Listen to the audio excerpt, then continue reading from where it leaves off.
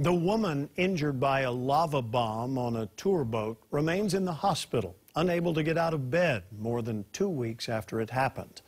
With a long road to recovery, she says she still doesn't know when she can go home. Manolo Morales has more. Joe, 20-year-old Jessica Tilton, an Illinois resident, was emotional today talking about what happened. She said she remembers telling her family that they were getting dangerously close just before the lava bomb hit the boat.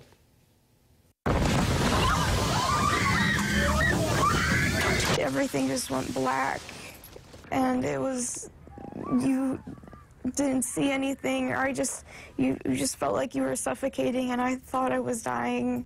Tilton was sitting closest to the railing and says she leaned over to protect her sister, sitting right next to her, when a lava rock about two feet in diameter hit her. I kept screaming like my leg because my leg hurt really bad.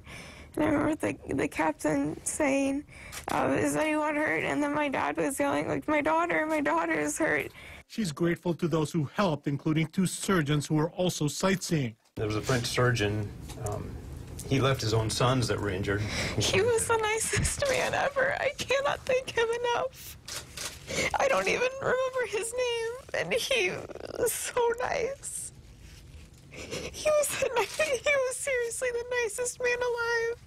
Tilton says it took over an hour for the boat to get back to shore, which to her felt like forever. It was the worst pain I've ever felt, and I was, I was just so concerned that, you know, that maybe these were going to be my last moments with my family. She says she raised concerns about how close the boat was getting right before everything happened. It was too close for comfort for me personally.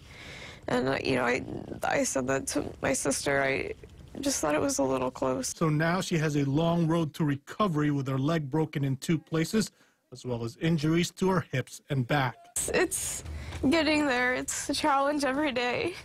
But, you know, it's just kind of using a lot of hope. And, you know, just the goal of just returning to normal life.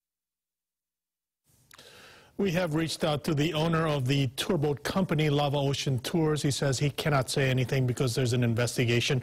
We checked with the Coast Guard and we're told that the investigation is still ongoing. Joe. Thanks, Manolo.